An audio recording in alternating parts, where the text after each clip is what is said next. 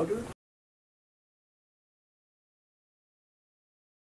Okay, I can talk a bit louder. That's better. Uh, hello. Uh, I'm going to talk about uh, the communication protocol called uh, Modbus. Who knows what Bocce is? Okay, so I will start with that. Um,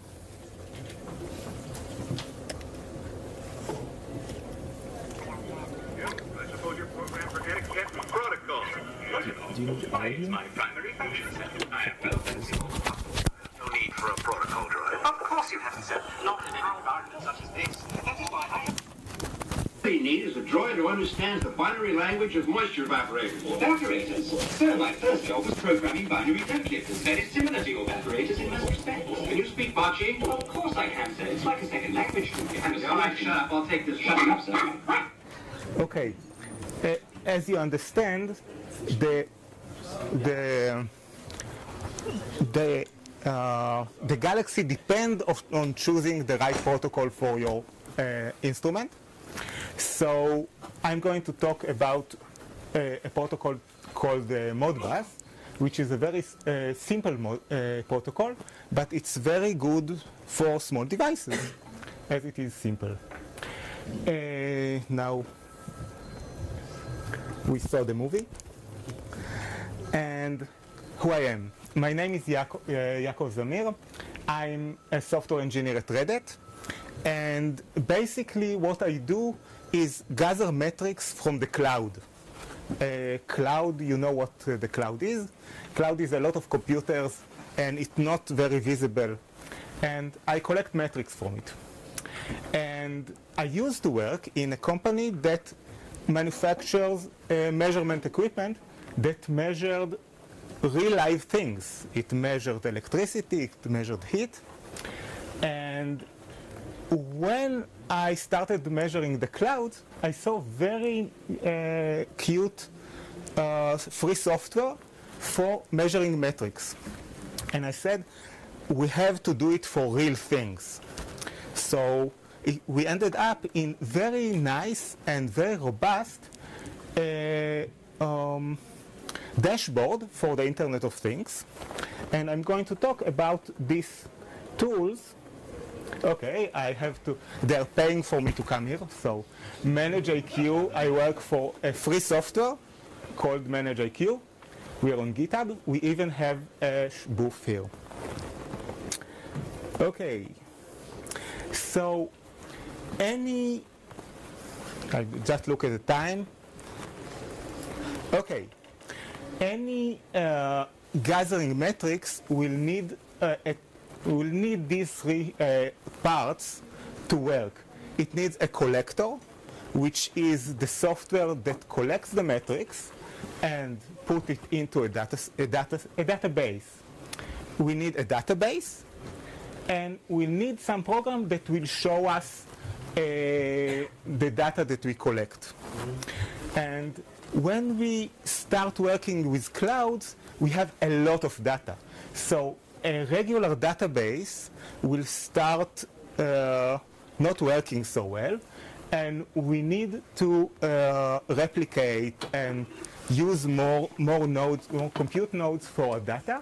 And that's why we are not using a traditional data, data a database. We'll use something uh, like Hawkular, which is a database that can uh, replicate on many nodes. And I think it's time for the demo. Yes. Okay, so the demo, this is the good part. So uh, what we are doing, I have to find my web browser. Ah, it doesn't work. Okay. I will start it. And what we see here is nothing. I will go to the power parameters which work now. I started it when we started the last talk, so we have half an hour of uh, data. And what we see here is a dashboard. It is uh, it's called Grafana. It is well tested. Many people love it, and it's really used very much in cloud metering. Uh, so we know it works. And it's very cute to work with. Uh, I don't understand the time here, but I think if we'll have time, I'll show how you play with it. It's very, very cute. Many people love it. And the next thing that I'm going to show is the Hawkular database. Uh, in this uh, demo, I didn't really use Hawkular. I used a mock Hawkular, which we use for testing, because a real Hawkular doesn't play well with one laptop. It needs a cloud to work well. So what you see here are the RESTful API of Hawkular, and data is getting pushed. Uh, the data that is getting pushed is what you see here. This is the collector, and it collects uh, uh, electro- electric me- measurement from a real device that somewhere on the internet, and people pay electricity by these uh, uh, values. So they are real values from a real, uh, a real controller somewhere. Okay. And now for the really, really tricky part, I'm going to show that this protocol, the Modbus protocol, is very robust and it works from the box. So if uh, some of you worship, worship Satan or something, it's now time to the. I'm going to try to make it work out of the box. And anyone who ever tried these things will know that it's not easy. Okay. Silence in the audience. Okay.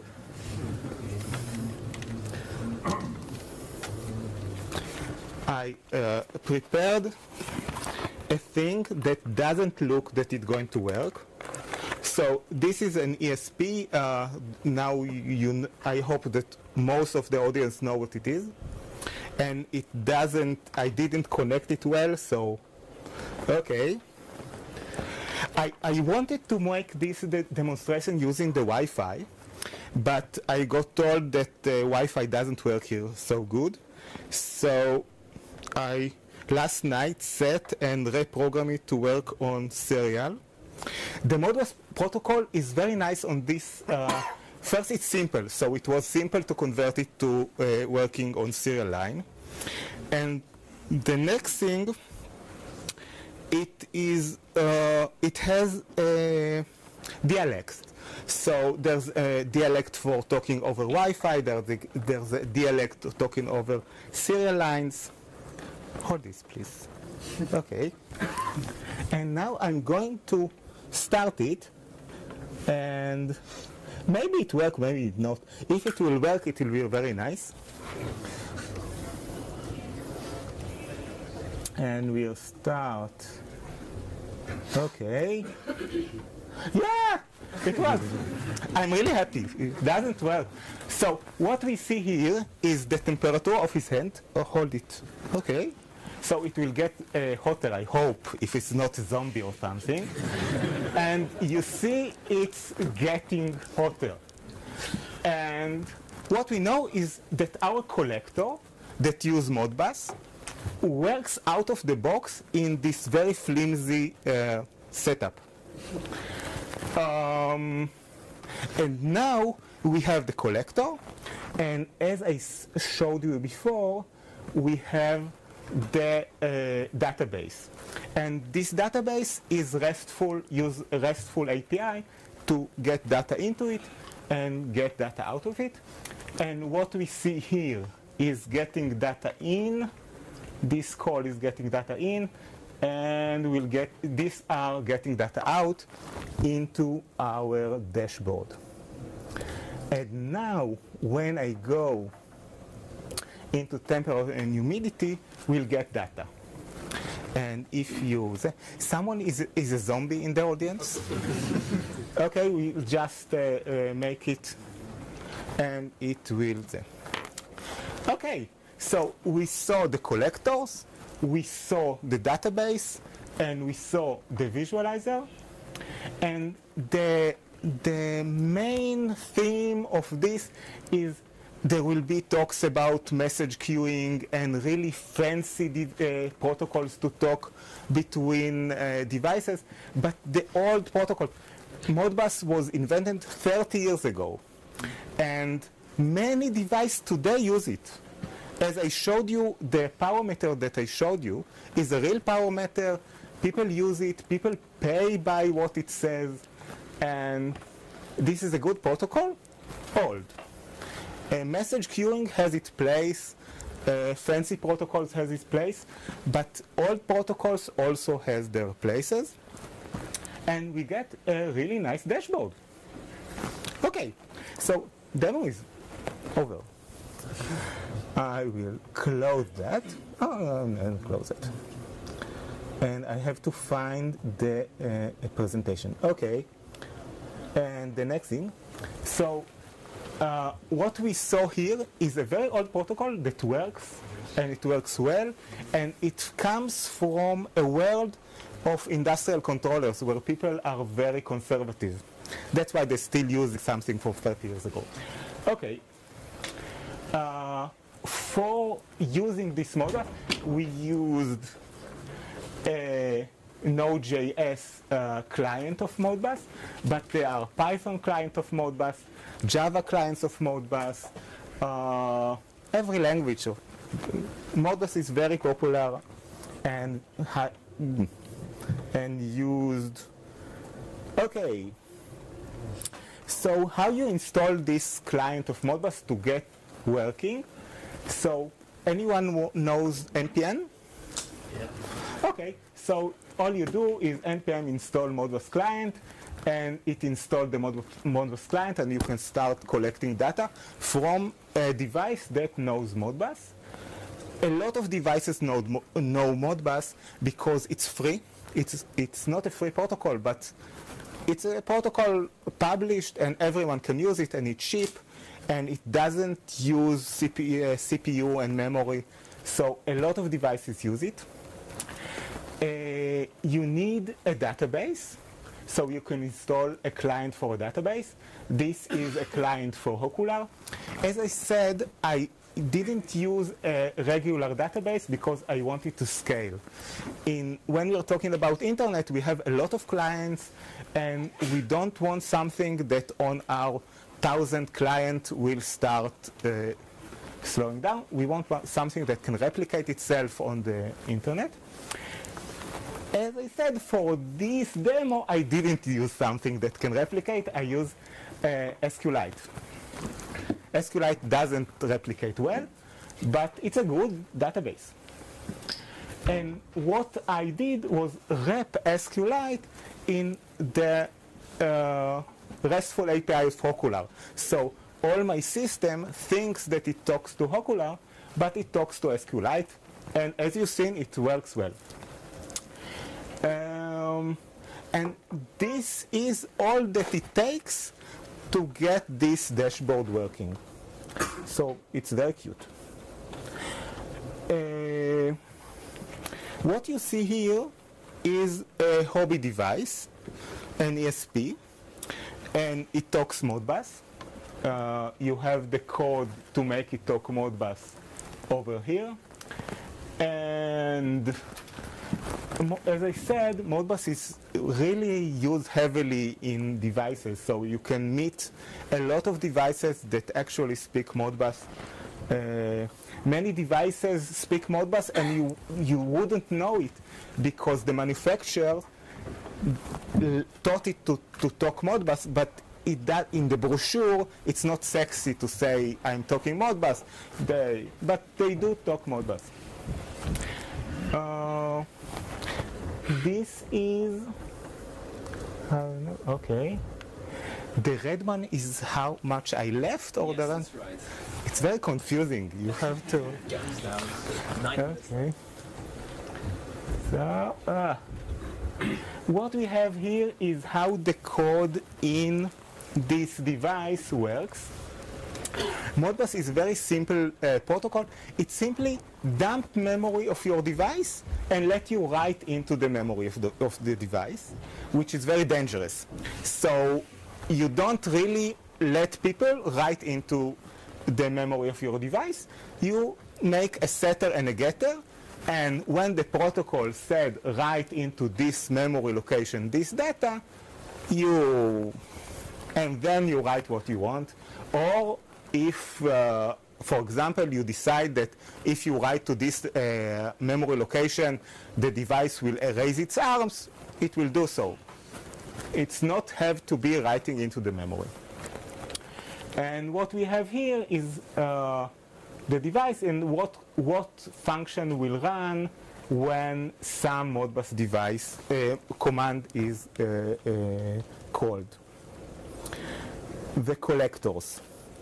Ah, okay. So as I said, to get a system that collects metrics and show it, we'll need three components. One is the collector, one is the database, and one is the viewer. And here are examples of collectors. Uh, I think I have the code next. Okay. So you can write a collector in any language you want, but for this demo, I choose Bash because if you can do it in Bash, you can do it anywhere. It's, it's there.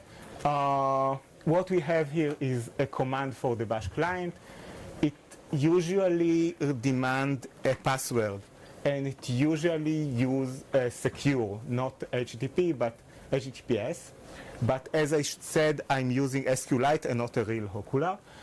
Um, the next thing is the Modbus client, and it can read either from TCP or from a serial device. And I uh, added there a timeout command because things can happen. Well, things can happen. So we need a timeout not to crash our collector because our collector needs to run. It needs to run whatever happens. So we have uh, fail safes on our command, and then we simply collect the data and send it into our database. And data store, basically you can use a simple database, any database you can write to file, but if you want to really do it on web scale, you need a database that can replicate itself. There's a lot of them, but I use Hawkular because that's what I use for collecting metrics from the cloud. Okay, getting Hawkular running is not easy. It's depending on the on your web. So for this uh, demo, I didn't use uh, a real Hawkular. I use a mockup. We use it for testing. It's not uh, designed to work. All, all the things that I shown in are hard. Uh, they can work. This is the only part that is a testing software, but it works, and SQLite is not as bad as people say. Okay. And Grafana, Grafana is very cute uh, uh, way to visualize things, and you saw it. And we come to uh, questions. Okay. First question is what is this? Uh, this is a water vaporator and it speaks uh, Bocce. Okay.